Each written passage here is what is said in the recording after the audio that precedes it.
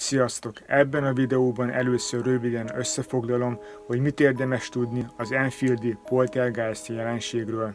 Majd elmondom a saját, szubjektív véleményemet arról, hogy mi is történhetett 1977 és 78 között Észak-Londonban a Hudson családdal. Annyit előjáróban elárulok, hogy a megoldás szerintem nem olyan földhöz ragad, hogy Hudsonék csalók voltak-e, vagy sem. A válasz a tudatalatti pszichokinézis lehet, de kezdjük az elején. A történet sokaknak a 2016-ban készült Démonok között kettőből lehet ismerős, amit az Enfieldi Poltergeist története ikletett. 1977-et írunk, a helyszín London legészakibb kerülete, Enfield, méghozzá a Green Street 284-es számú háza. Egy négy gyermekes asszony Peggy Hudson költözött be az önkormányzati házba, ami pont úgy nézett ki, mint a környék többi otthona. Ekkor még sem ő, sem a két lánya, a 13 éves Margaret és a 11 éves Janet, aki később az események főszereplője lett, sem a két fia, a 9 éves Johnny és a 7 éves Billy nem sejtette, hogy életük itt drámai fordulatot vesz. 1977. augusztusában először Janet panaszkodott megmagyarázhatatlan sikolyokra és hangokra. De aztán az egész család megtapasztalhatta azokat a paranormális jelenségeket, amik egy poltergeist, azaz kopogó szellem jelenlétére utaltak. A poltergeist egy olyan kézzel nem megfogható entitás, melynek megjelenését különös zajok kísérik. Sőt, tárgyakat is képes mozgatni, és tüzet is tud okozni. A hiedelem szerint a kopogó szellemek nem egyszerű segítséget kérő lelkek, mert rosszat akarnak, és elűzni sem olyan könnyű őket. Ezért is olyan népszerű szereplői a horrorfilmeknek. Peggy Hudson egyedülálló volt, és úgy érezte, hogy nem képes kezelni a kialakult helyzetet, ezért a szomszédtól, a Nottingham házaspártól kért segítséget. Mr. Nottingham szétnézett a házban, és ő is különös hangokra, furcsa fuvallatokra lett figyelmes. Úgy ítélte meg, hogy ehhez az ő segítségük kevés, ezért kihívta a rendőrséget. A kiérkező rendőrnyomozók kezdetben nem tapasztaltak semmi különöset, de aztán a szemük láttára a nappaliban egy fotel mindenféle külső segítség nélkül másfél métert mozdult el. Bár azt mondták, hogy ebben ők sajnos nem tudnak segíteni a családnak, azonban mindketten írásban tanúsították az esetet. Ez az ügy szempontjából azért nagyon fontos, mert ők voltak az egyetlen hivatalos személyek, akik látták a házban történő különös eseményeket, ezért gyakorlatilag ők voltak a legmegbízhatóbb tanúk. A következő napokban a helyzet csak durult, különféle tárgyak lebegtek a szobákban, bútorok mozdultak el, és különös, kopogó hangokat lehetett hallani. Nyilvánvalóvá vált, hogy nem egy közönséges szellem, hanem egy poltergeist kísért a házban. Peggy tanácstalan volt, ezért a sajtóhoz fordult. Ettől kezdve egyre több újságíró, riporter és médium kereste fel a házat, akik többsége szemtanúja is lett a különös eseményeknek. Miután a Déli Mirror is írt az esetről, az ügy országos hírnevet szerzett. Természetesen sokan csalással vádolták meg a Hudson családot, nem is alaptalanul mivel több olyan esetről is tudni a 70-es években, amikor egyesek poltergeist jelenségre hivatkozva igényeltek más, nyilván jobb önkormányzati lakást. Azonban Peggy Hudson kategórikusan kijelentette, hogy nem akar másik lakásba költözni, ez az otthonuk. A számos szemtanú ellenére azért állt ingatag lábokon az ügy hitelessége, mert egyértelmű videófelvétel vagy kép nem készült a jelenségekről.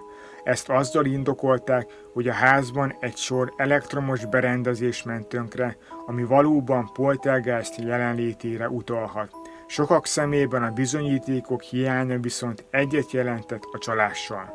Idővel világossá vált, hogy a poltergeist tevékenysége a 11 éves Janethez köthető hiszen az ő jelenlétében történtek a megmagyarázhatatlan események.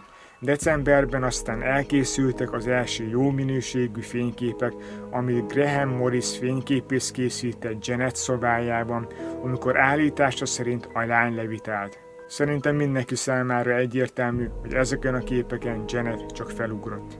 Az eset hitelességét egyébként a Hudson család többször is aláásta azzal, hogy hazugságon érték őket. Ezeket tulajdonképpen nem is tagadták, de állításuk szerint a legtöbb hátborzongató dolog a kopogó szellemhez köthető. Aztán Janet egyszer férfi hangon szólalt meg. Elmondta, hogy ő Bill, a ház egy korábbi lakója, aki 72 évesen hunyt el. Mint kiderült, ezek valós adatok voltak, valóban volt egy Bill nevű korábbi lakó, aki halála előtt megvakult és a nappaliban hunyt el. Adná magát, hogy megvan a poltergász kiléte, azonban ennek hitelességéről sokan nem voltak meggyőződve. Janet korábban hallhatott a környéken lakóktól egyet mást a ház múltjáról, így tudhatott a 72 évesen elhunyt bírről is. A hörgős férfi hangot pedig a lány hasbeszéléssel is kiadhatta. Az orvostudomány szerint az álhangszálak használatával hörgő, földön túli hangokat tud kiadni a beszélő. Vagy jelen esetben talán a hasbeszélő Janet. A különös jelenségek 1978. szeptemberében szűntek meg, és ezután a poltergeist nem jelentkezett sem Janeten keresztül, sem más módon. Bár évekkel később az édesanyja halála után más lakók költöztek a házba, akik hátborzongató jelenségekről számoltak be, azonban ezt rajtuk kívül más nem erősítette meg és amúgy is a ház történetét ismerve a legtöbbünk biztosan bebeszélné magának, hogy valamilyen paranormális van az ingatlanban. Az Enfieldi poltergeist még a szakembereket is megosztja. Számos pro és kontra érvet vonultatnak fel azzal kapcsolatban, hogy az egészet csak a Hudson család találta ki, avagy tényleg Bill szelleme kísértett egy évig a házban. Szerintem a Hudson család nem mindenben hazudott. És bár a hírverés fenntartása érdekében számos dolgot csak kitaláltak, de ez nem ad magyarázatot minden poltergász tevékenységre. A fényképek és a hangfelvétel viszont valószínűleg hamisítványok voltak. 1977. augusztusa és 1978. szeptembere között több, mint 30 ember volt szemtanúja a házban lezajló poltergeist jelenségeknek. Nagyon nem valószínű, hogy mindenki az átverés része volt, különösen úgy, hogy két rendőr írásban tanúvallomást tett de szerintem nem is hagyományos értelemben vett szellemmel állt szembe a Hudson család. Több szakember is azon az állásponton van, hogy a kopogó szellem tulajdonképpen olyan tömeges energia, melyet élő személy irányít tudat alatt.